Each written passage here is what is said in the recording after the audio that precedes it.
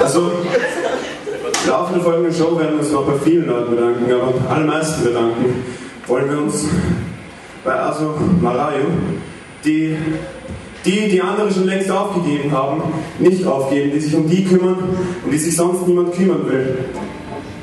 Und daher ist unser nächster Song Path of the Young World.